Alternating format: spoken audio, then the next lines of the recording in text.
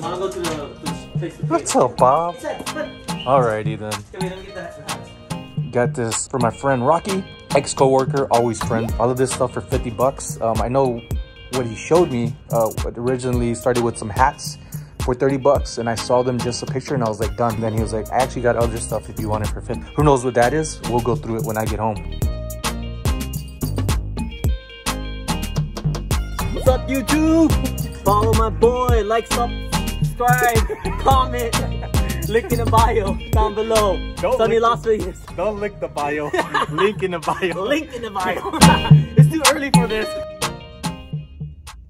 Really digging this t-shirt right here. It's a thumbnail i made of krillin and i uh, when we had our first live chat together. And people have been asking ever since can you make t-shirts out of it? So now it is available on merch by amazon within the link down below. I do get some profits off of it but it's not profits that i'm using for me to keep. Necessarily it's actually to throw back into more items that i could like say stickers maybe buttons. Um, it's just gonna go back to just whoever's interested in it keep it going towards the reseller community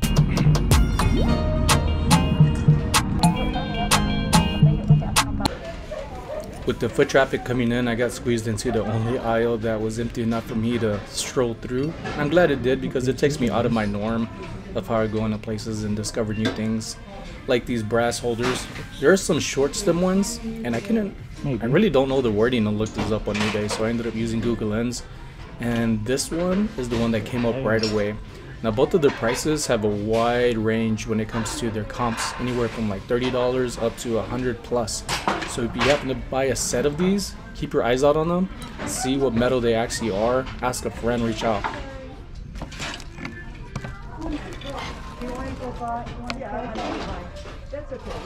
This Grandeur Noel, I got excited with this one because it's brand new in box and the price was pretty decent for a collector because they resell for around say 29 bucks. That's so cool. Thought this was pretty cool for an elephant. Pretty artistic, and as an artiste myself, I was like, But it had a lot of damages.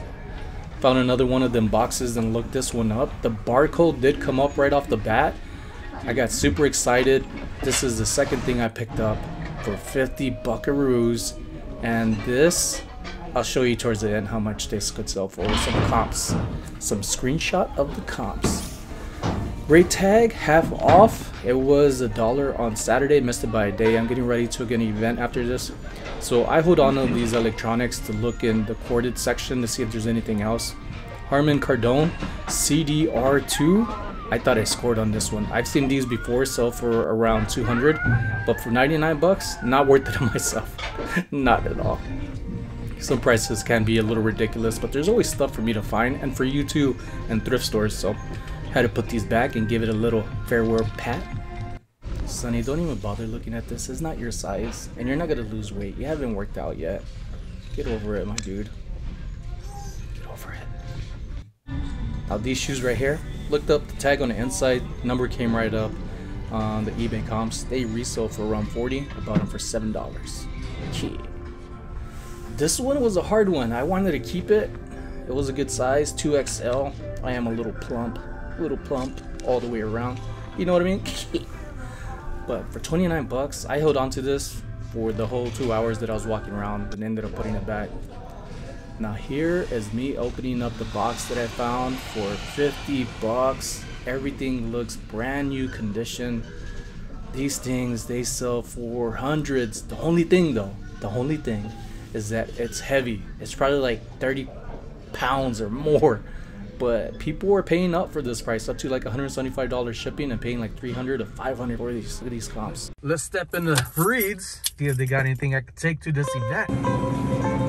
Look at all this diabetes just rotating around, waiting for somebody to choose them and take them home. Damn, that looks good. Especially this Amazon Prime one. Gives me some ideas. I Ended up getting a gift card, and at first they didn't have an envelope. I went back inside and asked if they could give me a container, just so it doesn't look like plain Jane. I think this comes off a little bit better because the limit was $25, but some people are a little extra like myself, so I actually added an extra $5. So it's a Wow, $30 gift you're a card. baller. I'm at my old stomping grounds right here. I used to work right here.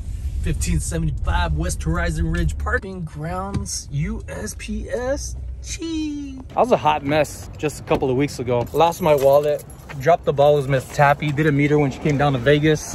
Then ended up having the 12 hour live event and I with the 12 hour live event I ended up kicking everybody off. I, I, don't know how many times it was probably at least two minimum but maybe three times. After all of that snowball effect today is one of the smoothest days that I've had woke up made it on time to a friend to get all the things that I showed you earlier was able to eat something not starve myself get some treats. I even got a gift card to participate in the white elephant and then drop off an order. Reason why it worked out on top of that is because my wife's been trying to get me to get a passport. On good terms good vibes with the employees that are still here I'm glad to see that they ended up saying like, hey, Sonny, come here on a Saturday. Um, we'll just walk you in. You don't need to make an appointment. It's good to know people, but it's more important to be good with good people.